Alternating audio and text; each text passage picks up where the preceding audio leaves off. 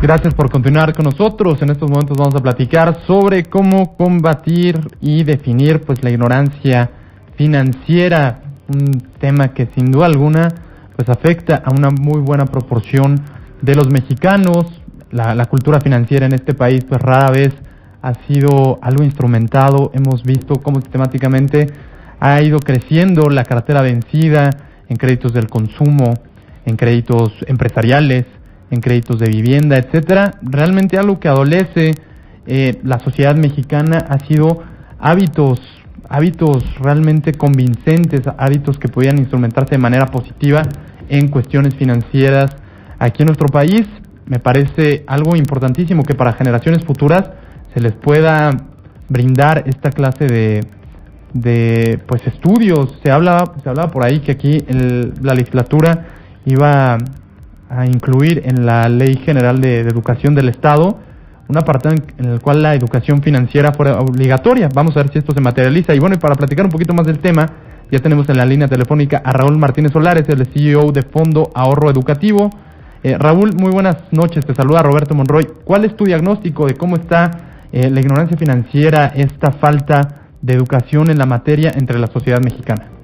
Gracias, Roberto. Eh, gracias por la oportunidad de platicar con tu audiencia. Déjame comentarte muy rápidamente. En general estamos muy mal, pero eh, yo sé que es mal de, muchos consuelo de tontos, pero es un problema mundial. Eh, tendemos a veces a pensar que la ignorancia en ciertos temas muy concretos, como es el tema financiero, es privativo de la sociedad mexicana, pero este es un tema que por lo menos la última década se ha discutido abiertamente y muy frecuentemente en, en temas académicos, en temas de política pública alrededor del mundo porque las implicaciones que tiene la falta de conocimiento, pero sobre todo la falta de hábitos financieros muy puntuales de parte de la población, tiene implicaciones muy graves para el futuro de las familias.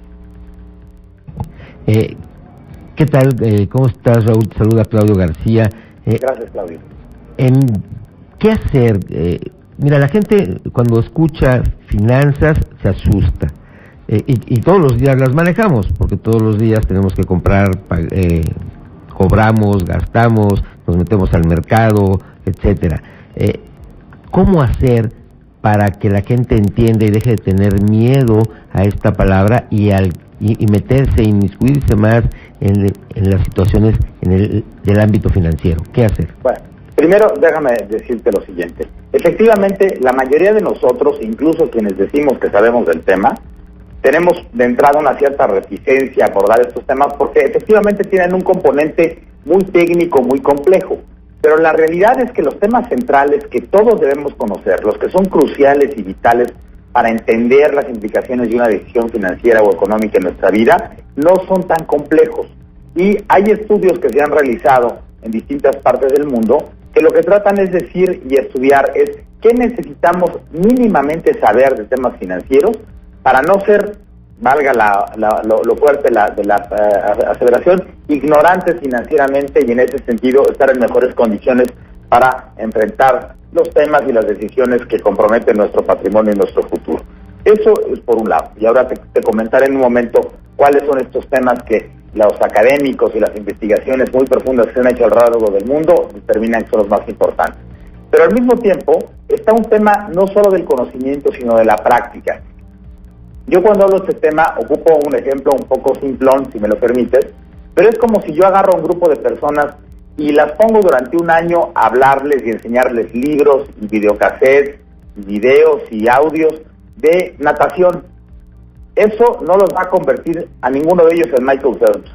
La única posibilidad es que ese conocimiento que yo les dé lo tengan aparejado con una práctica cotidiana y consistente, real, que entonces traduzca ese conocimiento abstracto en una práctica específica que los lleve a mejores hábitos. ¿Y por qué lo destaco así? Porque somos muchas las personas que aún teniendo conocimientos financieros mínimos o incluso muy profundos, no tomamos las acciones que debemos de tomar para que ese conocimiento se traduzca en una mejor calidad de vida financiera, en una mejor planeación de nuestras finanzas personales y familiares, en mejores decisiones de compra o de contratación de crédito y a la larga, aún teniendo el conocimiento financiero, tomamos decisiones que comprometen nuestra vida y la de nuestra familia. Raúl, en tu opinión esto tendría que ser, eh, pues, educado o por así decirlo, desde una temprana edad. ¿Tú crees que a los niños, desde la primaria, tal vez la secundaria, esto es algo que se les tendría que enseñar o todavía sería una edad demasiado corta?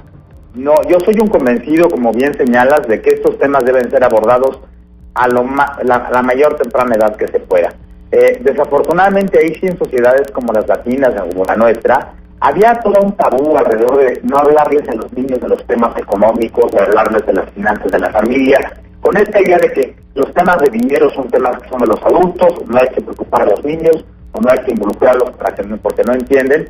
Pero la realidad es que en primera sí entienden si lo sabemos explicar, en segunda, si los explicamos a muy temprana edad, les van a ser temas familiares y por lo tanto no les van a dar tanto miedo cuando vayan creciendo.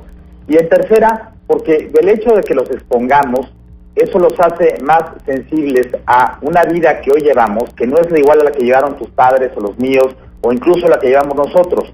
Hoy el entorno económico es cada vez más complejo, es cada vez más volátil, la dimensión de los retos que los niños actuales van a enfrentar en términos económicos o laborales en los siguientes años es mucho, mucho más compleja de la que hemos enfrentado generaciones anteriores. Entre mejor los preparemos y les anticipemos esta información, estarán en mejores condiciones para ellos mismos labrar su futuro financiero. Y hay muchas cosas que podemos hacer. Yo, por ejemplo, una de las cosas que recomiendo con niños cuando están pequeños, que apenas empiezan a aprender a, a sumar en la escuela, es conviértelo en un juego. Todos vamos al supermercado o al mercado dales una calculadora de juguete y diles que te ayuden en el proceso de ir en el supermercado a ir llevando la cuenta de las cosas, ir llevándote, sumándote cuánto vas a pagar de cuenta al final. Lo conviertes en un juego, le puedes comprar un dulce al final si es que se acerca en un rango aceptable a lo que se está consumiendo en esa ocasión en las compras y lo estás en, en primera dándole una práctica matemática que los estudios a nivel internacional demuestran que la gente que va desarrollando conocimientos y habilidades matemáticas es mejor para temas financieros y es mejor para tomar en general cualquier decisión. Y en segunda lo vas exponiendo a los temas de los precios. Como grandes, es muy frecuente, como adultos, es muy frecuente que vas al supermercado, haces tus compras y con mayor o menor complejidad, dependiendo de tu nivel de ingreso, empiezas a comprar un poco sin ton ni son, sin hacer una comparación adecuada de qué es lo que más te conviene, qué es lo que realmente gastas. Este tipo de prácticas tan triviales que pueden empezar como un juego son muy importantes para ir creando una visión en el futuro. Otro tema, en México se estilaba más, hoy muchas familias ya no le estilan, pero el hecho de darte lo que se llamaba el domingo, si tú a un niño lo expones a decirle, tú tienes una cantidad, por muy pequeña que sea recursos, para comprarte pueden ser desde dulces o lo que sea, lo estás empezando a dar una dinámica de administración de recursos y lo puedes hacer desde muy temprana edad. Asociado a este tema, hay una práctica que también se recomienda y es que le digas al niño, yo te doy la cantidad que sea, le puedes decir te doy 10 pesos a la semana. Pero si tú en esta semana y sistemáticamente de esos 10 pesos ahorras 5, dentro de un mes lo que tú hayas juntado, yo te lo duplico. Y ese, ese, digamos, rendimiento que estás obteniendo por no gastarte tu dinero, te está generando un premio que pues, te permite comprar mayores cosas. Y esa es una manera muy empírica, muy práctica, de que se entienda el concepto de rendimiento por una inversión. Y es algo tan sencillo como que si yo no me gasto mi dinero hoy por guardarlo y guardarlo en un tiempo largo, voy a obtener un premio y ese premio me va a dar un beneficio. Y es algo que los psicólogos lo llaman la postergación de la gratificación.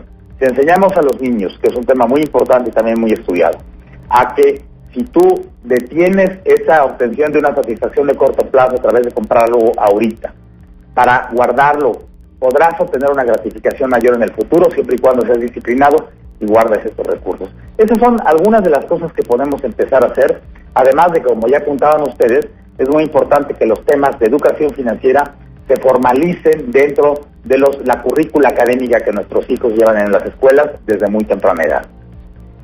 Sí, eh, tienes toda la razón, esa parte de, las prácticas del ahorro eh, y, estar diciendo, bueno, el rendimiento, el, vamos, la tasa de interés, los conceptos de hasta del crédito, ¿no? Bueno, está bien, te presto, pero tienes que pagar bajo estas condiciones. Ahí mismo en la casa, pues va, van construyendo toda, todo este conocimiento. En alguna época en las instituciones se dieron, hace muchos años, en unas planillas del ahorro, del ahorro nacional, una cosa así, costaban 20, los bonos del ahorro los bonos del ahorro costaban 20 centavos, 15, no recuerdo, y, y los ibas juntando y tenías varias, y al cabo del tiempo, bueno, pues quizás al año o dos años, pues ya tenías cierta cantidad ahí que, que tú la habías ido eh, pues ahorrando. Eh, eso te favorecía y muchas veces el maestro te enseñaba a decir, a ver, ¿cuántas planillas tienes? Pues tanto, ¿cuánto equivale? 100 pesos. Bueno, 100 pesos o 10 pesos eh, te van a dar tanto y a ver, calcúlame el interés. O sea, empezabas a aprender un poco de esto. ¿sí? Esto se ha perdido. ¿Por qué crees que se ha perdido? Por, por una extraña visión de prioridades que tenemos eh, en general en el país en muchos temas. Eh, en ocasiones se nos olvida que hay conocimientos básicos. Se decía, un tema muy importante que está muy estudiado es que las sociedades donde los niños tienen sólidos conocimientos matemáticos, ese conocimiento matemático no solo les sirve para temas matemáticos, ayuda a desarrollar un pensamiento lógico. Y ese pensamiento lógico te ayuda a tomar decisiones de toda naturaleza a lo largo de tu vida. Hay muchos estudios que lo demuestran, donde personas que tienen ese pensamiento abstracto matemático muy temprana edad, de más grandes son capaces de enfrentar crisis personales, por ejemplo, de una mejor manera, porque son capaces de racionalizar más los problemas, priorizarlos, ponerlos en su justa dimensión y abordarlos y resolverlos en su caso. Cuando tú no tienes un pensamiento lógico, eh, se tiene que desarrollar eso en el tiempo, es muy difícil que, entiendas la dimensión de los problemas. Y además hay un tema ahí un poco, un poco complejo.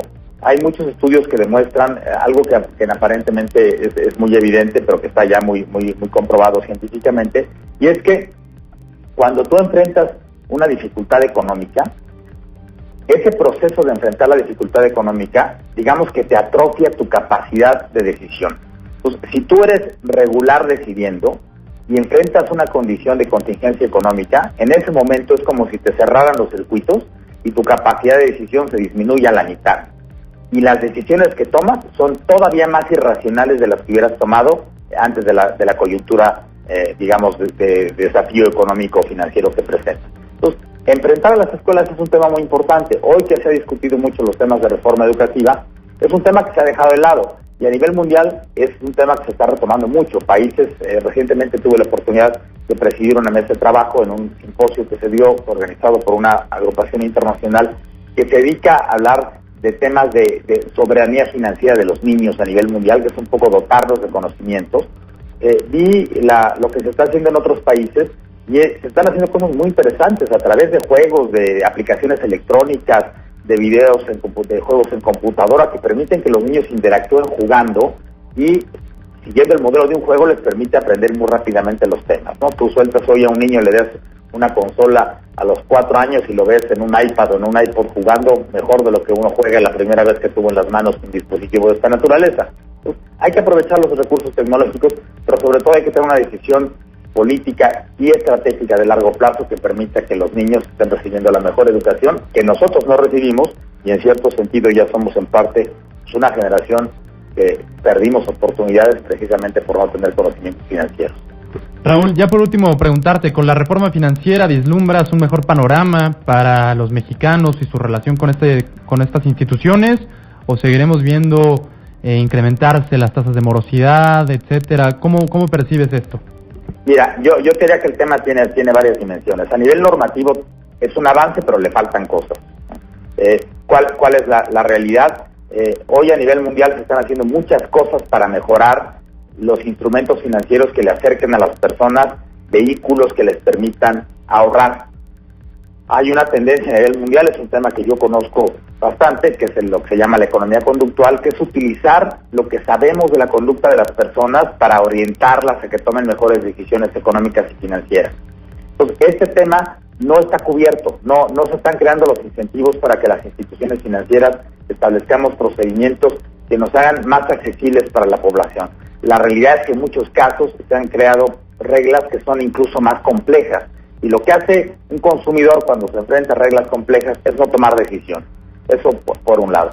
Por el otro, no, no creo que todavía que nos falta un poco para avanzar en el sentido de profundidad de bancarización que se requiere en este país. México, siendo una de las economías más grandes del mundo, tiene un nivel de penetración bancaria en, en todo el país muy inferior a lo que se tiene en países de mucho menor tamaño en América Latina y en el resto del mundo. Esto te habla de que no hemos desarrollado instituciones financieras sólidas que estén accesibles para la población de todo nivel de ingresos. porque aquí un tema que quisiera destacar es que con frecuencia la razón más rápida que damos para decir por qué la gente no ahorra es decir que no tenemos dinero, que hay sectores que tienen poco dinero.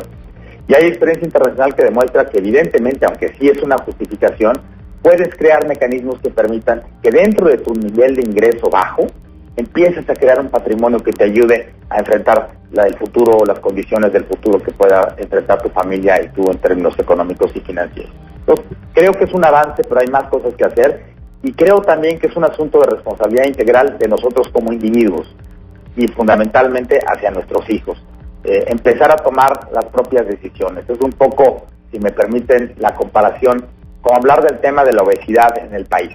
Pues sí hay un problema de la industria, sí hay un problema de la comida chatarra, pero pues nadie nos pone una pistola para que nos vayamos y nos atragantemos de hamburguesas. Es un asunto de disciplina personal, es un asunto de inculcar a nuestros hijos lo que es adecuado hacer en términos de tu salud y en este caso de tu salud financiera. Es un asunto de tomar el control de ciertas decisiones de manera personal. Si me permiten muy rápidamente decirles, mostrarles un ejemplo de cómo operan estos temas conductuales, en la India se hizo un experimento donde se buscaron grupos de trabajadores de la construcción que son de muy bajo nivel de ingreso y se les propuso que ahorraran una proporción de su sueldo. En muchos de ellos la proporción que pensaban ahorrar era 3, 4% y semanalmente se le entregaba su sueldo y se le decía, ¿quieres ahorrar lo que dijiste o no? La mayoría decía no, porque pues no tengo posibilidad de ahorrar. Y básicamente lo que se hizo en este experimento conductual fue utilizar un grupo de control donde se hacía lo mismo, pero ya se le daba el dinero dividido. Le decías, este sobre es lo que dijiste que te ibas a llevar, esto es lo que dijiste que ibas a ahorrar. Si te lo quieres llevar lo que pensaste ahorrar, tienes que romper el sobre y te lo llevas. El truco es que la portada del sobre era una foto de su familia. Entonces, para ponerlo así de brusco, tenía que enfrente de sus compañeros, la decisión que había manifestado de ahorrar por su familia, rechazarla rompiendo la foto de su familia para llevarse el dinero. En este caso, la tasa de ahorro se incrementó como en 30%. Eso es a lo que me refiero cuando hay mecanismos conductuales que pueden apoyarnos a las personas a que en entornos complejos financieramente vayamos poco a poco tomando las decisiones que nos convienen a nosotros y a nuestras familias para el futuro. Pues Raúl, muchísimas gracias por esta interesantísima charla que tuviste aquí con nosotros en la detalle. Raúl Martínez Solares, CEO de Fondo de Ahorro Educativo. Que pase una excelente noche y esperamos poder contar con tu participación nuevamente. Se los agradezco y les pongo a, disposición suya y de mi auditor, del tu auditorio, mi, mi, cuenta en Twitter que es arroba Martínez Solares. Para cualquier consulta que me quieran hacer, estoy para servirles.